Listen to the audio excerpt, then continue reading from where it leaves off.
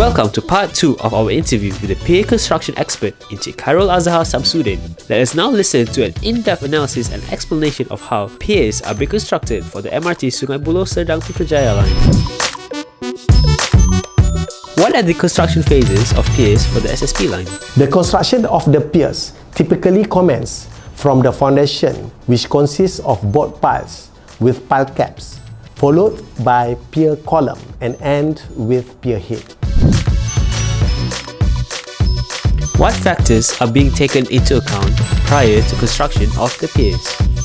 Factors being considered prior to pier construction are utilities affected by the foundation, adjacent building structure or river, space availability, traffic management and diversion, and last but not least, affected public or stakeholders.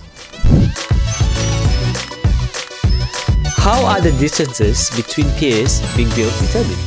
The factors being taken into consideration to determine the pier distance are the social impact on adjacent stakeholders, drainage or river crossing, rails or road crossing, utilities reserve for TNB cables, water pipes, telco cable, gas pipes, and lastly but not least, other government land reserve or limitation.